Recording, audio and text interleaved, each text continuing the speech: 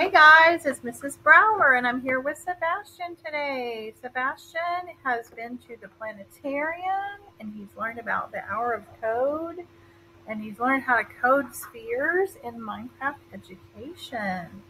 Sebastian, tell me about the planet project that you made.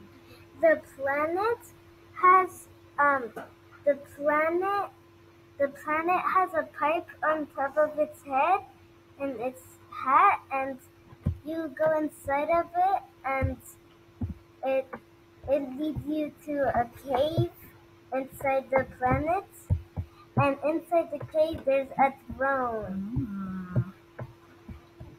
and then and it doesn't have eyes because it's a planet and Planets don't have eyes, do they? and it has a superstar for lights Isn't that fun? Go up there and see that. Cool. What kind of lights are those? oh those are frog lights Frog lights. I have not seen that block yet. That's so cool. Sebastian, what made you think of all of this?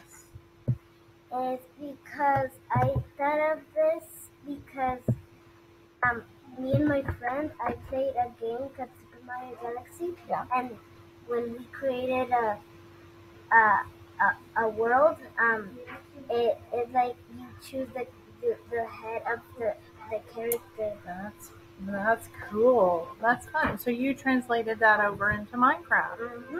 I love. I love it so much. Is there anything else about it that you want to talk about? No, So, Sebastian, is there another build in this world that you worked on, or did this take your full time up? That, takes my whole time up. Okay.